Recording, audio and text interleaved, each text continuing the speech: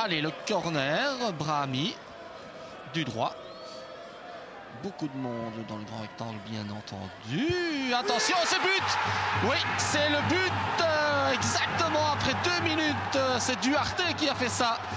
Oui, oui, Adriano euh, Duarte, 0-2 pour Mons.